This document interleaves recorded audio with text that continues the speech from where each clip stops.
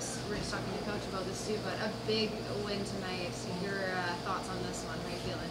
Yeah, I mean, I think it's obviously a big one versus San Diego, who's kind of one of those teams in the league that everyone's looking at as kind of a, a top contender. And obviously, there's a little bit of the, the Dobes and Dickson are there, right? And it's no longer trying to be the little brother, right? I think the first game we came out here, and I think we are we're a little in awe, right? And we kind of gave them too much respect at times. They're great players, but we're on the same level. And I think tonight we just played it a little different, right? Where we took it to them rather than letting them be the aggressors all the time. Yeah, what do you think the key was in this one? Uh, shutting down those guys, or was it more just a team effort?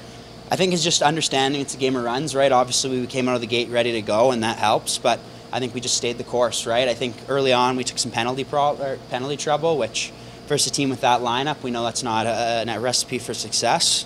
So we just adjusted, right? We stayed the course, and then obviously in the fourth quarter we were able to pull away with guys like Shane Simpson making a difference in transition. From your perspective as a starting goalie, how nice is it to see the Currier brothers give you that early two nothing lead so quickly into the game? No, it's fun, right? And I think we all we all know Zach, right? And it's it's nice to have Josh, right? And we always joke that hey, it makes Zach happy to have his brother in town too, right? So try to keep them both around for a long time here. So obviously it was a big goal to start for both of them, and we hope that they can uh, build off that and just keep going and contributing to our right side for Josh.